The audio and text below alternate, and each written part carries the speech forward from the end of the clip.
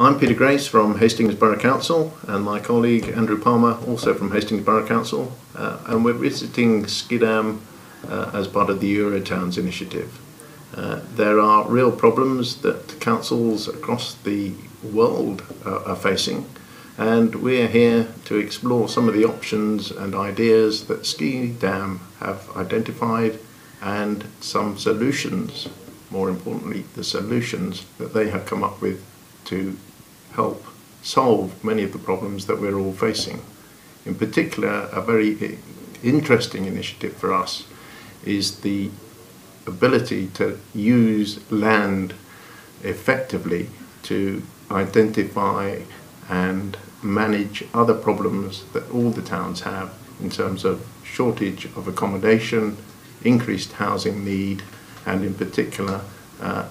to integrate communities uh, successfully uh, in these difficult and changing times. Uh, so what we have come here for in particular is the innovative solution uh, with regard to the roads and the sports facilities that uh, they have managed to develop successfully here, which we think are real solutions um, and very innovative and will give transferable solutions not only for Hastings uh, but elsewhere around the around the, uh, Europe in particular. Uh, and I think there are there are particular reasons why um, Schiedam is of interest to us. There are there are um, there are a number of similarities actually between uh, between the towns and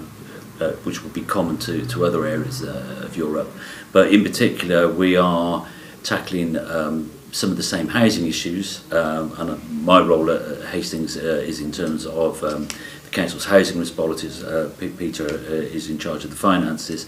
Um, the, the similarities are that uh, we both have um, uh, quite severe housing crises where we're not producing enough homes, but we're both uh, have shortages of development land, so we're both landlocked. Um, and so we're both really interested in you making the best use of the existing land.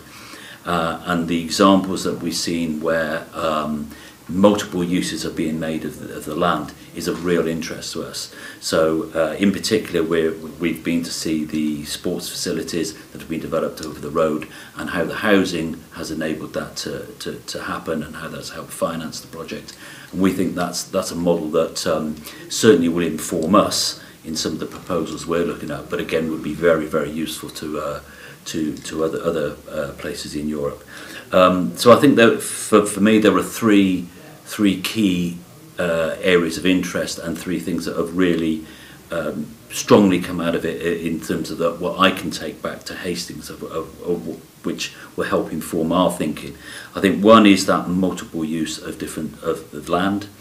so that where development land is in short supply, we, we can make more than one use out of that. And that widens the benefits, I think, to, to local residents and helps enable buy-in. Um, often development is controversial and not always welcomed by, by local residents. Widening the, the, the benefits of development, actually making it more appealing to, to a large group of people helps get that buy-in. And, and obviously, um, does something to counter some of the objections that you're likely to, to um, uh, get through any uh, any development proposals. I think, um, secondly, uh, I, and, more specifically, I think we're very interested in, in the financial modelling and the, uh, the way that you finance that and the uh, innovation that's been used around that, particularly um, how you've managed to look at breaking the normal contractor-client relationship and um, and look at uh, ways of again of working um, collaboratively with with uh, with the developers and also with the local community to again to widen that benefit and to get buy-in from from local people. So so those are really key issues I think. Um, the third one I think um, is that um,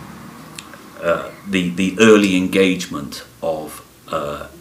existing residents in new development very, very key for me um, in, in, in ensuring that people understand the benefits uh, that have a, uh, an opportunity to, to shape what's happening in terms of development um, and, and that's very enabling I think for, for local communities. So all those I think are lessons that I can take back um, to involve um, some of the proposals and things that we're, we're starting to develop in Hastings. And again, I think um, much wider use to a whole range of, of towns uh, in Europe.